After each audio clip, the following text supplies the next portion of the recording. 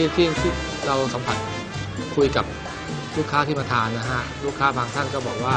ทานเจแล้วดีกว่ากับเทียบกับเมื่อสมัยตอนที่ยังไม่ทานเจเนี่ยอย่างน้อยที่สุดเขาบอกตัวเขาไม่เหม็นนะฮะไม่เหม็นแล้วก็คือหลายสุขภาพเขาดีขึ้นเห็นเห็นเลยนะครับเท่าที่เขาบอกมานะฮะการที่จะเเคยกินยาเมื้อหนึ่งเป็นกำกำบางท่านเป็นโรคหัวใจโตที่เราสัมผัสได้นะครับ ที่เราทราบมาเนี่ย ก็เขาก็พอทานเจไปสักพักหนึ่งป๊อปเขาก็ค่อย ๆ หยุดยาลดยาลงจนจนจนตอนหลังเขาบอกว่าเขาทิ้งยาไปเลยก็มีนะฮะแล้วทีนี้ทานเจสิ่งแรกที่ได้ที่สุดคือเราได้ใจครับได้ใจตรงที่ว่าเราไม่ได้เบียดเบียนนะเราทำอะไรทุกอย่างเนี่ยเราเหมือนกับว่าถ้าคนที่มีธรรมะนะฮะอยู่ในใจเนี่ยสูงสูงส่วนใหญ่แล้วเขาก็ไม่อยากจะเบียดเบียนอยู่แล้วนะครับ เมื่อ เมื่อเขาตัดสินใจมาทานเจเนี่ยนั่นแสดงว่าเขาก็ต้องใช้ความเขาเรียกว่าไงนะไม่ไม่ตามใจปากนะฮะไม่ตามใจปาก จากที่เคยทานเนื้อหมูเคยทานเนื้อเป็ดเนื้อไก่เนื้อปลาก็ต้องอดกลั้นได้ก็คือฝึกจิตเขาไปในตัวด้วยนะฮะทุกวันนี้ลูกค้าที่มาทานเจที่นี่ก็ส่วนใหญ่แล้วก็อัธยาศัยดีมากๆนะฮะไม่ไม่ขี้โมโหบางทีอาหารเราช้า เพราะว่าลูกค้าเยอะบางทีอาหารเราช้าไปบ้าง ลูกค้าเขาก็ รับได้ครับ แล้วก็เหมือนกับแกลูกค้าจะมีความสบายติดสบายใจอะฮะเขาเข้าใจว่าคงจะเป็นเพราะว่าอาจจะไม่ได้เบียดเบียนมากกว่า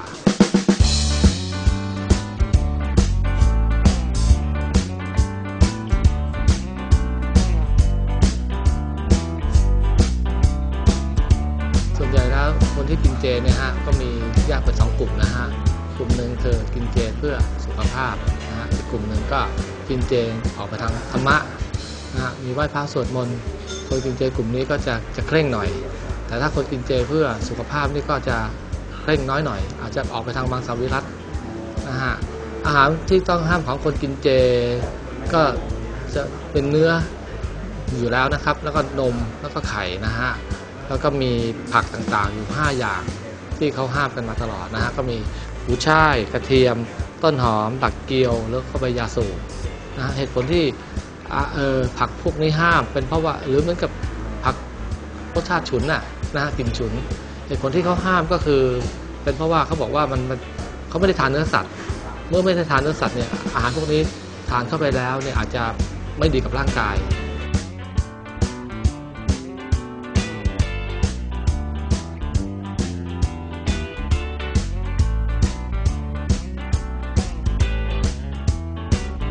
ครับ เราอยากจะให้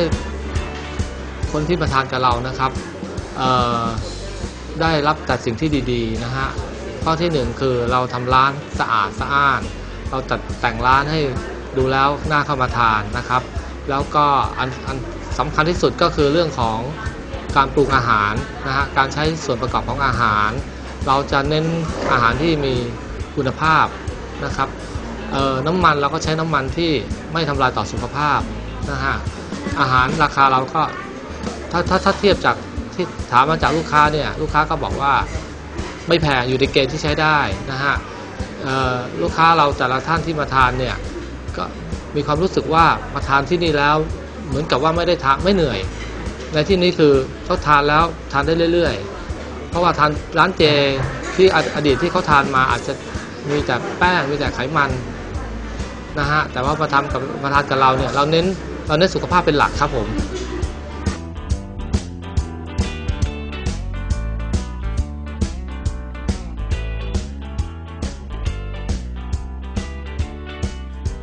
เมนูที่จะแนะนำก็คือเมนูเยื่อไผ่น้ำแดงนะฮะ ตัวนี้เนี่ยเป็น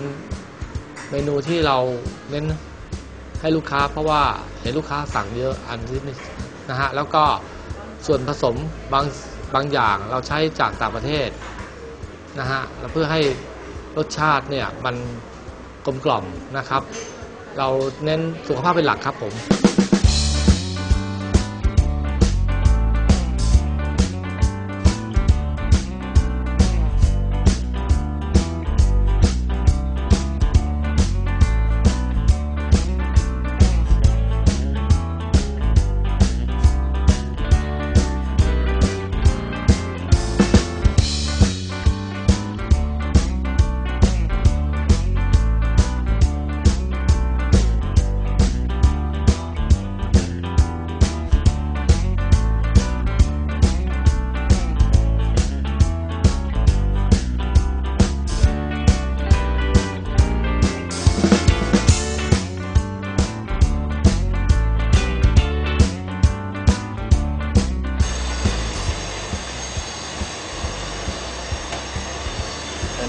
ก็ตามไปด้วยเยื่อไผ่ครับ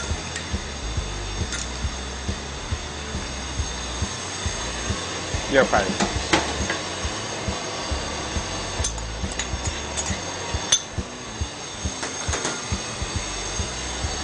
ตามไปด้วยเห็ดโอริจิครับโอริจิอร่อยอร่อยอาหารเราเพื่อสุขภาพ อร่อยสุดยอด แฮมแฮมเจ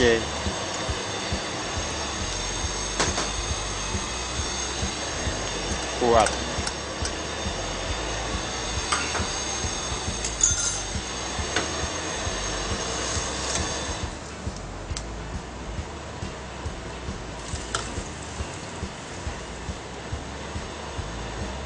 ต่อด้วยเครื่องปรุงนะครับ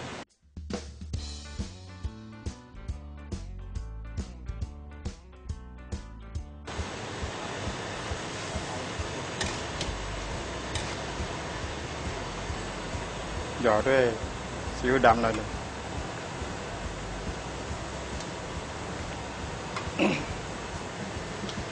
ซีอิ๊วดำแป้งมันฮ่องกงนะครับแป้งมันฮ่องกง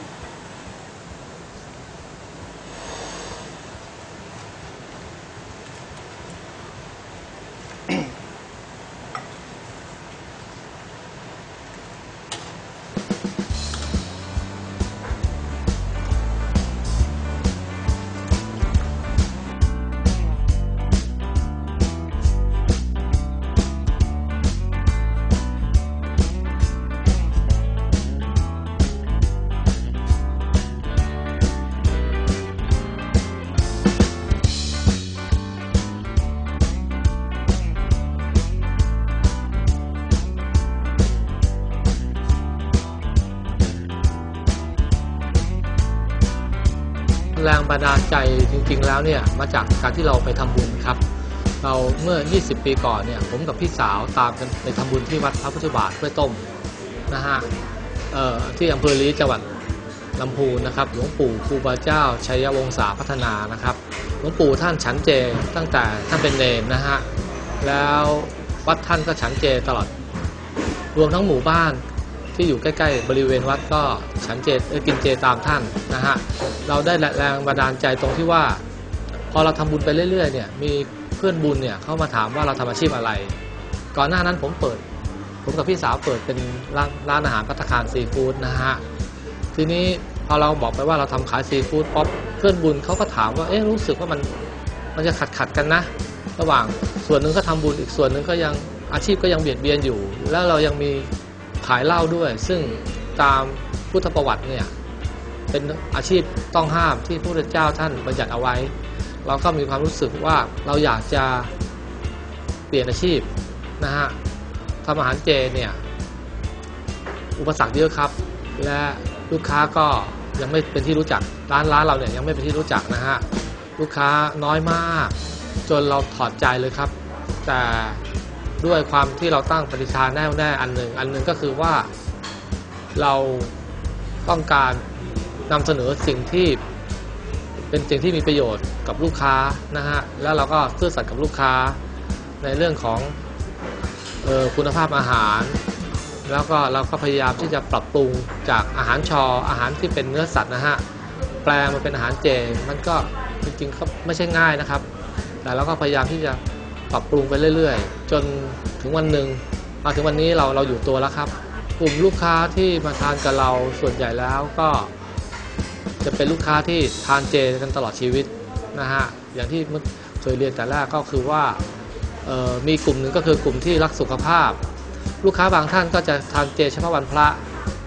บางนะฮะแล้วบางท่านก็อาจจะทานเจเตรงกับวันเกิด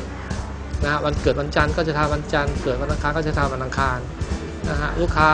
ก็ก็แต่จะเน้นหนักวันพระครับวันพระนี่ลูกค้าจะเยอะจะเยอะมากๆ เราตอนที่เราแต่งร้านใหม่ๆเนี่ยเราก็เมื่อมั่นใจแล้วว่าเราจะขายอาหารเจป๊อปเราก็พยายามที่จะแต่งร้านให้ขาวให้สะอาด ให้ดูเป็นเหมือนกับเป็นบ้านตัวเองให้น่านั่งนะฮะแล้วเราก็เน้นเรื่องของบริการดีๆ เน้นเรื่องของแต่งร้านให้ลูกค้ามีความรู้สึกว่า มันมันเข้ามาน่ารักสบายใจนะฮะเราก็ออกไปทางโทนสีขาวนะฮะแล้วก็ทำให้ลูกค้าเนี่ยชมมาพอสมควรครับว่าเราเราเราแต่งได้ได้ถูกกับบรรยากาศในการนั่งทานเจอ๋อมีครับเรามีอาหารสินค้าที่เป็นปูเนื้อปูหรือเนื้ออะไรเทียมนะฮะจากทำมาจากแป้งนะครับเอ่อไว้บริการเป็นห่อๆนะฮะมีทอดมันปลา มีไส้กรอกเจ มีหมูสามชั้นเจ มี ลูกชิ้นเห็ด มีลูกชิ้นเยอะเลยครับ หลายๆอย่างนะฮะเป็นสิบอะครับ ร้านของเรานะครับ ชื่อร้านสุทันทิพย์นะครับอออยู่บนถนนเจริญนครซอย ปากซอย 36 นะฮะเเป็นร้านห้องแอร์นะฮะสามห้องติดกันเออของที่ร้านเนี่ยเปิดบริการตั้งแต่ 10 โมงเช้าถึง 3 ทุ่มครึ่งนะฮะเราเราแล้วก็ขออนุญาตหยุดวันอังคารนะฮะเราเราเราอยากจะ ให้ตัวเราเองเนี่ยรวมทั้งพนักงานของที่ร้านเนี่ยมีคุณภาพชีวิตที่ดี เราไม่อยากที่จะเอาแต่ทำแต่งานนะครับ เราต้องการที่จะเอาเวลาของเราให้กับครอบครัวบ้างนะฮะเพื่อเพราะฉะนั้นเราขอหยุดวันอังคารวันหนึ่งเมนูที่แนะนำก็ส่วนใหญ่แล้วมันเรามีเมนูหลากหลายนะฮะมีทั้งเมนูครัวจีน ครัวไทยนะครับอาหารจีนนะฮะก็มีเต้าหู้เออผัดบรอกโคลีราดด้วยซีอิ๊วญี่ปุ่นนะครับหรืออย่าง ปลาหิมะราดพริกนะฮะผัดโหกล้วยนี่ออกมาทางจีนๆนะฮะรวมทั้งมีออเดอร์ฟร้อนเผื่อบางทีลูกค้ามากันแบบหลาย ๆ ท่าน จะเชิญลูกเพื่อนๆมาทานกันสังสรรค์กัน แล้วก็มีเป็นแบบโต๊ะจีนแล้วก็มีจัดครับนะฮะเมนูเมนูไทยก็มีส้มตำนะฮะซึ่งเราก็ขึ้นชื่อ แล้วก็มีลาบน้ำตกนะฮะ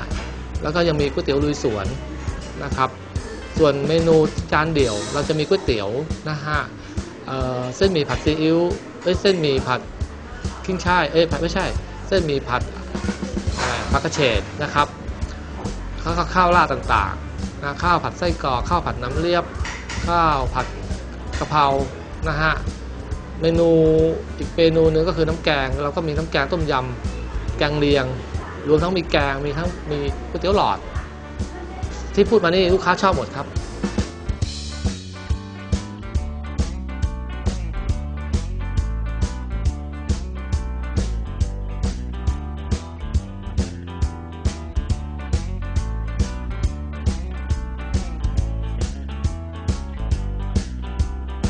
เนื่องในเทศกาลกินเจนะฮะ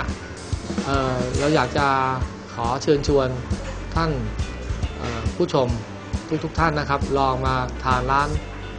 ที่ร้านอาหารสุทันทิพย์ดูนะครับ อาหารของเรานี่จะ